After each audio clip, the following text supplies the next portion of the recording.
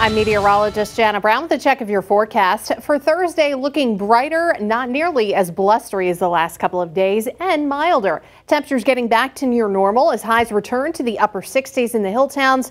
Lower 70s expected throughout the Pioneer Valley. Greater Springfield area should get above 70 degrees.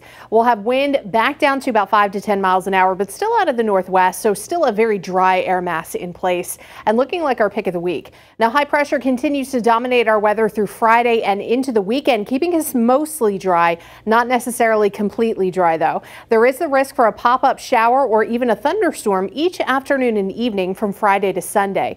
Very hit or miss, and I think maybe our best chance of those three days would come for Sunday afternoon and evening. Either way, you get mostly dry days, warmer days too, with highs in the low to mid 70s Friday, Saturday, and Sunday. Mid 70s for early next week, and we could take a run at 80 by Wednesday.